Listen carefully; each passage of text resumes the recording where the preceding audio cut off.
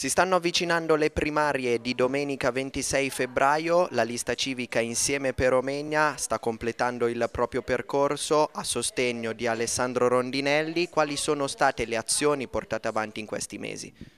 Sì, negli ultimi mesi insieme con Alessandro abbiamo incontrato tantissime persone, i cittadini, i commercianti, i consigli di quartiere, le associazioni e la risposta è stata davvero positiva. La gente ha voglia di essere ascoltata. Il 26 febbraio si avvicina, è stato un lungo percorso portato avanti con al fianco una lista civica preziosissima come quella di Insieme per Romegna.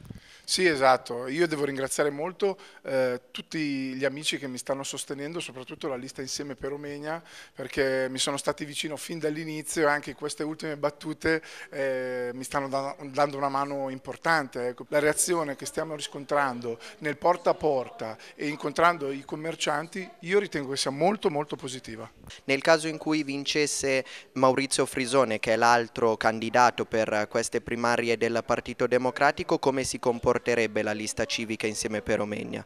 Lo abbiamo detto sin dall'inizio, sono due numeri uno, sono due persone credibili, noi non li vediamo come antagonisti ma piuttosto come complementari.